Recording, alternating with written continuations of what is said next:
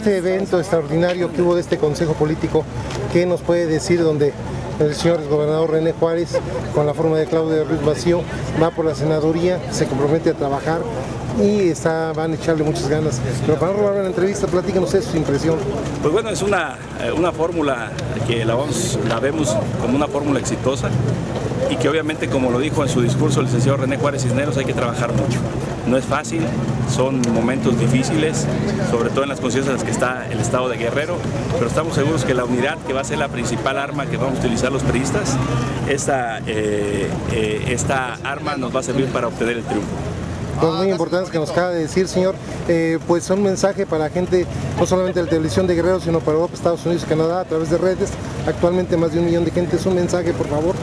Pues decirles que ya en estos momentos de electorales debemos como ciudadanos mantener eh, la unidad y que confíen en el partido, en el PRI que el PRI en su momento, cuando gobernó, las condiciones tanto de seguridad, económicas y políticas eran otras.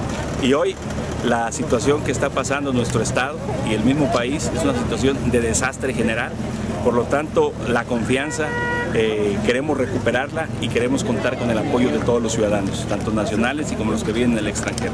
Pues muy importante, señor, para, para su nombre y cargo para gente de Europa. Cuauhtémoc Salgado Romero, diputado federal. Gracias, señor.